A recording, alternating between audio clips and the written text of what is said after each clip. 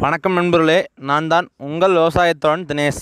நம்ம சேனலில் பார்த்தீங்கன்னா தொடர்ந்து விவசாயம் சம்மந்தப்பட்ட பதிவு பார்த்துருக்குறேங்க அது போக திருப்பூர் தினசரி காய்கறி விலை நிலவரங்களை பற்றி டெய்லி அப்டேட் வந்து உங்கள் விவசாயத்தோழன் யூடியூப் சேனலில் வந்து டெய்லியும் பதிவு பண்ணிட்டு இருக்கிறேங்க நீங்கள் நம்ம சேனலை பார்த்தா ஃபஸ்ட் டைம் பார்த்தீங்கன்னா சப்ஸ்கிரைப் பண்ணி பக்கத்தில் இருக்கிற பெல்லைக்கன் ஆப்ஸ் காமித்திங்க அப்போ தான் நாங்கள் போகிற அப்டேட் பார்த்தீங்கன்னா உங்கள் மொபைலுக்கு லிங்க்காக வருங்க. நீங்கள் அது மூலியம் வீடியோ பார்த்துக்கலாங்க.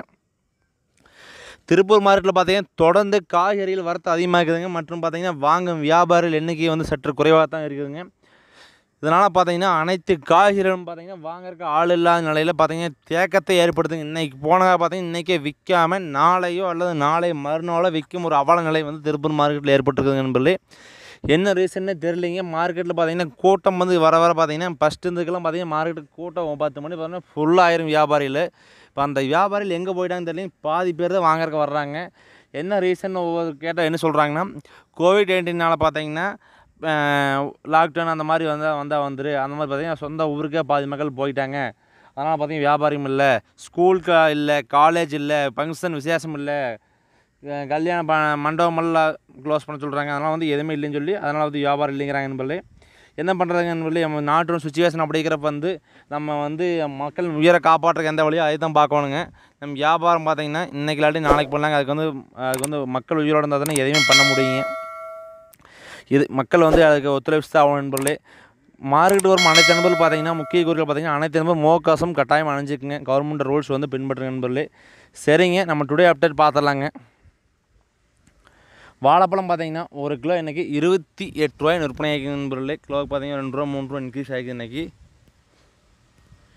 பொருள் தட்டைங்க பதினஞ்சு கிலோ கொண்ட பை பார்த்தீங்கன்னா ஃபஸ்ட் குவாலிட்டி பொருள் தட்டை வந்து காய் தெளிவாக இருந்தால் இரநூறுவாய்க்கு விற்பனை ஆகிக்குதுங்க. செகண்ட் குவாலிட்டி வந்து நூற்றம்பதுங்க இது பார்த்தீங்கன்னா கிலோ விற்பனை பார்த்தீங்கன்னா பதினஞ்சு ரூபாயிலேருந்து பத்து ரூபாயிலேருந்து பதினஞ்சு ரூபா வரைக்கும் விற்பனை சொல்லாங்க.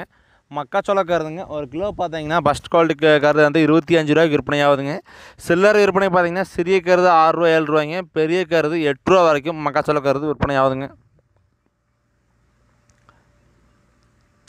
பீர்க்குங்காய்ங்க பதினஞ்சு கிலோ கொண்ட கட்டு பார்த்தீங்கன்னா ஃபஸ்ட் குவாலிட்டி பீர்க்குங்க காய் தெளிவாக இருந்தாலும் கட்டு முந்நூறுரூவாயிலேருந்து ஐநூறுரூவா வரைக்கும் விற்பனை ஆகுதுங்க காயின் தரம் மற்றும் கட்டின் சைஸை பொறுத்து விலை விற்பனை ஆகுதுங்க இது கிலோ விற்பனை பார்த்தீங்கன்னா ஆவரேஜாக இருபத்தி அஞ்சு ரூபாயிலேருந்து முப்பத்தி அஞ்சு ரூபா வரைக்கும் விற்பனை ஆகுதுங்க புடலங்காய் பார்த்தீங்கன்னா வேட்டு வந்து எந்த வித்தியாசமும் இல்லைங்க. பதினஞ்சு கிலோ கொண்ட கட்டு பார்த்தீங்கன்னா நூற்றி ஐம்பது ரூபாய்க்கு வந்து விற்பனை ஆகுதுங்க இது கிலோ விற்பனை பார்த்தீங்கன்னா பத்து ரூபா ரேட்டில் வந்து புடலங்காய் விற்பனை ஆகுதுங்க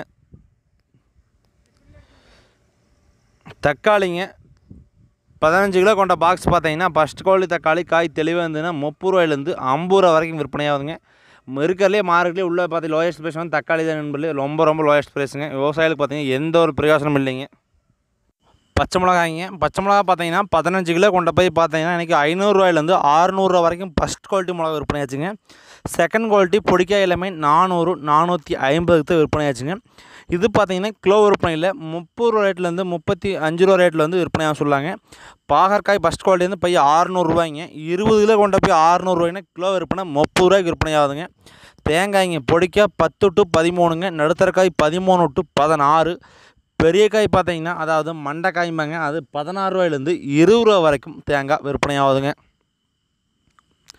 முருங்காய் முருங்காய் பார்த்தீங்கன்னா கட்டு சம்பளம் நண்பர்களே ஒரு கட்டு பார்த்தீங்கன்னா பத்து ரூபாயிலேருந்து முப்பது ரூபா வரைக்கும் விற்பனை கட்டின் எடை பார்த்தீங்கன்னா ரெண்டு கிலோங்க. பப்பாளிங்க பத்து கிலோ கொண்ட பாக்ஸ் பார்த்தீங்கன்னா நூறுரூபாயிலேருந்து நூற்றி முப்பது ரூபா வரைக்கும் பப்பாளி விற்பனை ஆகுதுங்க இது கிலோ விற்பனை பார்த்தீங்கன்னா பத்து ரூபாயிலேருந்து பதிமூன்று ரூபா ரேட்டில் வந்து விவசாயிகள் கொண்டு வந்து தர்றாங்க. உருளைக்கிழங்க ஃபஸ்ட் குவாலிட்டியாக இருந்தால் இருபத்தி ஏழுங்க செகண்ட் குவாலிட்டி இருபத்தி மூணு தேர்டு குவாலிட்டி பதினெட்டு ரூபாயிலேருந்து இருபது ரூபா வரைக்கும் மூணு ரேங்கில் விற்பனை ஆகுதுங்க. முள்ளங்கி முப்பதில் கொண்டு போய் பார்த்தீங்கன்னா ஃபஸ்ட் குவாலிட்டி முள்ளங்கி காய் தெளிவாக இருந்தால் மூட்டை நானூறுரூவா வரைக்கும் விற்பனை ஆகுதுங்க. செகண்ட் குவாலிட்டி முள்ளங்கி பார்த்தீங்கன்னா இரநூத்தம்பது முந்நூறு முந்நூற்றி ஐம்பதுக்கு விற்பனை ஆகுதுங்க. இது கிலோ விற்பனை பத்து ரூபாயிலேருந்து பதிமூணு ரூபா வரைக்கும் விற்பனை ஆகுதுங்க. இஞ்சி. இஞ்சி பார்த்தீங்கன்னா பச்சை இஞ்சி கிலோ இருபத்தி அஞ்சு ரூபாயிலேருந்து நாற்பது ரூபா வரைக்கும் விற்பனையாகுதுங்க. அதே காய்ந்த இஞ்சி எண்பது ரூபா முதல் நூறுரூவா வரைக்கும் விற்பனை ஆகுதுங்க பூசணிக்காய் ஐம்பது கிலோ கொண்ட இடம் மூ மூட்டை பார்த்தீங்கன்னா மூட்டை நானூறுரூவாயிலேருந்து ஐநூறுரூவா வரைக்கும் விற்பனை ஆகுதுங்க இது பார்த்திங்கன்னா கிலோ விற்பனை எட்டு ரூபாயிலேருந்து ஒம்பது பத்து ரூபா வரைக்கும் பூசணிக்காய் விற்பனை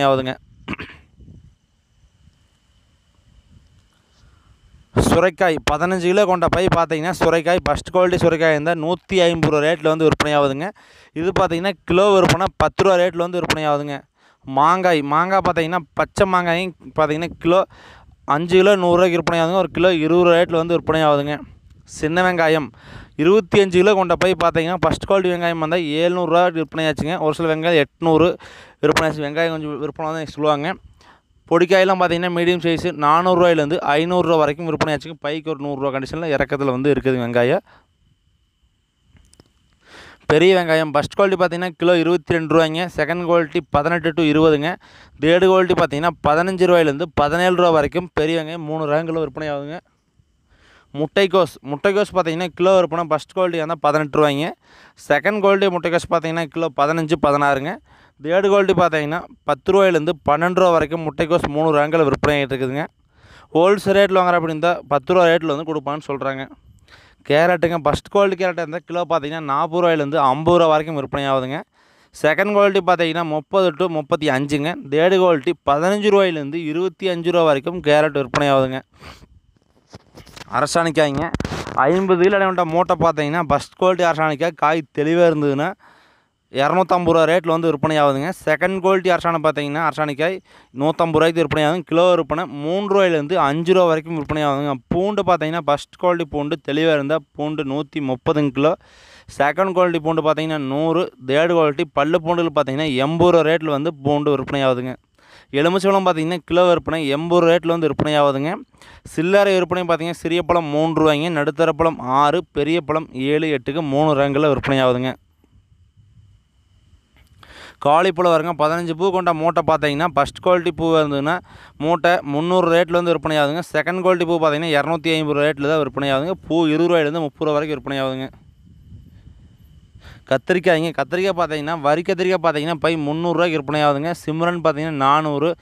பவானி பார்த்தீங்கன்னா ஃபஸ்ட் குவாலிட்டி தெளிவாக இருந்தால் ஆறுநூறுவாயிலேருந்து ஏழ்நூறு எட்நூற்றம்பது எட்நூறு வரைக்கும் விற்பனை ஆகுதுங்க தெளிவான காய். கத்திரி மூணு ரகங்கள் விலை சொல்லியாச்சுங்கன்னு சொல்லி மூணு ரகம் கேட்டிருந்தீங்க சொல்லியாச்சுங்க. கொத்தமல்லி பார்த்தீங்கன்னா வரத்து பார்த்தீங்கன்னா இன்றைக்கி வந்து ஃபஸ்ட்டு பார்த்தீங்கன்னா கம்மியாக தான் வந்ததுங்க. செகண்டாக பார்த்தீங்கன்னா வரத்து கொத்தமல்லி ஃபுல்லாக வந்துச்சுங்க என்பதில் கட்டு சராசரியாக அஞ்சு ரூபாயிலேருந்து பத்து ரூபா வரைக்கும் விற்பனைன்னு சொல்லுவாங்க என்பதில் நல்லா பெரிய ரேட்டு பார்த்தீங்கன்னா நாங்கள் பார்க்குற பத்து ரூபாய் விற்பனை ரெண்டாவது பார்த்தீங்கன்னா அஞ்சு ரூபாய்க்கு வந்துச்சுன்னா கொத்தமல்லி ரேட்டு மட்டும் கரெக்டாக என்னால் கெஸ்ட் பண்ணி சொல்லவே முடியலைங்க. ஏன்னா சொன்னால் இந்த வேலைக்கு ஏறுக்கு மேலே சொ சொல்கிறாங்கிறீங்க வாழைத்தார் பார்த்தீங்கன்னா நூற்றி ஐம்பது காய் கொண்ட தார் பார்த்தீங்கன்னா இரநூத்தம்பது ரூபாதுங்க எந்த மாற்றமும் இல்லைங்க. அவரைக்காய் பார்த்தீங்கன்னா ஃபஸ்ட் குவாலிட்டி அவரைக்காய் காய் தெளிவாக இருந்தால் இருபதுல கொண்ட போய் பார்த்தீங்கன்னா பை அறுநூறுவா வரைக்கும் அவரைக்காய் விற்பனை ஆகுதுங்க காய் கொஞ்சம் சுமாராக இருந்தால் அந்த காய் முந்நூறு முந்நூற்றம்பது தான் விற்பனை ஆகுதுங்க நல்ல க்ரீன் பச்சை பந்தல வரை இருந்தால் ஆறுநூறுங்க மீடியம் ரகம் பார்த்தீங்கன்னா நானூற்றம்பது ஐநூறு. பொடிக்காயெல்லாம் பார்த்தீங்கன்னா முந்நூற்றம்பதுக்கு மூணு ரகங்கள் விற்பனை ஆகுதுங்க பீட்ரூட் முப்பதில் கொண்ட போய் பார்த்தீங்கன்னா ஃபஸ்ட் குவாலிட்டி இருந்தால் பீட்ரூட் இரநூறுவா என்பதில் பீட்ரூட் வந்து ரொம்ப ரொம்ப சொல்லுவாங்க. பிடிக்கிறாங்களாம் பார்த்தீங்கன்னா நூற்றம்பது நூறுரூவாய்க்கும் கூட பீட்ரூட் விற்பனை இந்த பீட்ரூட் விவசாயிகளுக்கு பார்த்தீங்கன்னா ஒரு ரூபாய்க்கும் கூட மிச்சமாகாதுங்க ரொம்ப ரொம்ப லாஸ் பீன்ஸ் பீன்ஸ் பார்த்தீங்கன்னா தற்போது திருப்பூர் மாவட்டத்துக்கு பார்த்தீங்கன்னா திருப்பூருக்கு லோக்கல் பீன்ஸ் வரது ரொம்ப ரொம்ப கம்மிங்க. ஊட்டி மேட்டுப்பாளையம் சைடுலேருந்து பீன்ஸ் வருதுங்க. அன்றைக்கி பார்த்தீங்கன்னா கிலோ விற்பனை ஐம்பது ரூபா ரேட்டில் வந்து பீன்ஸ் வந்து கிலோ விற்பனையாச்சுங்க கடையில். கொத்தாவரங்காய்ங்க பதினஞ்சு கிலோ கொண்ட பை பார்த்தீங்கன்னா ஃபஸ்ட் குவாலிட்டி கொத்தாவரை காய் தெளிவாக இருந்தால் பை இரநூத்தம்பது ரூபா ரேட்டில் வந்து விற்பனை ஆச்சுங்க. காய் கொஞ்சம் மோசமாக பொடிக்காய் க்ரீன் பச்சை இல்லாமல் வெள்ளை கலரில் இருந்தால் அந்த பை இரநூறுக்கு விற்பனையாச்சு போது ஆச்சுங்க. கொத்தாவரை பார்த்தீங்கன்னா பைக்கு ஐம்பது ரூபா இறக்குங்க. இது பார்த்தீங்கன்னா கிலோ விற்பனை பதினஞ்சு ரூபாயிலேருந்து பதினாறு ரூபா ரேட்டில் வந்து விற்பனை ஆகுதுங்க. வெண்டங்காய்ங்க. வெண்டங்காய் பார்த்தீங்கன்னா பதினஞ்சு கிலோ கொண்ட பை பார்த்தீங்கன்னா ஃபஸ்ட் குவாலிட்டி வெண்டங்காய். காய் தெளிவாக இருந்தால் மூட்டை முந்நூறு ரேட்டில் வந்து விற்பனை ஆச்சுங்க. செகண்ட் குவாலிட்டி எல்லாமே இரநூத்தம்பது இரநூறுக்கு தான் வெண்டங்காய் வந்து விற்பனை ஆச்சுன்னு பொருள். வெண்டங்காய் பார்த்தீங்கன்னா வரது வந்து இந்த சீசனில் ஃபுல்லாக அதிகமாக வரனால பெரிய வெள்ளைக்கு வந்து போகிறதுக்கான வாய்ப்புகள் வந்து ரொம்ப ரொம்ப கம்மியாக தான் இருக்குதுங்க. இது கிலோ விற்பனை பார்த்தீங்கன்னா பதினஞ்சு ரூபா ரேட்லேருந்து பதினெட்டு இருபது ரேட்டில் வந்து விற்பனையாக சொல்லாங்க.